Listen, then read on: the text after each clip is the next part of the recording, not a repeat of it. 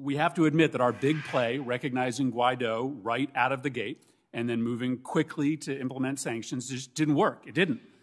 But all we did was play all our cards on day one, and it didn't work. And it's just been an embarrassing mistake after mistake since.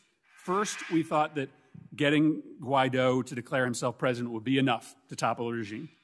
Then we thought putting aid on the border would be enough.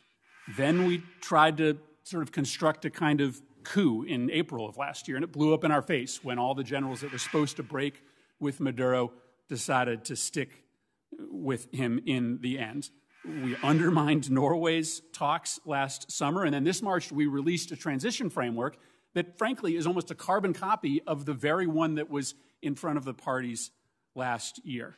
And now, after wasting all of this time, um, we are stuck with elections about to happen that, as we've talked about today, Guaido and the opposition refuse to enter.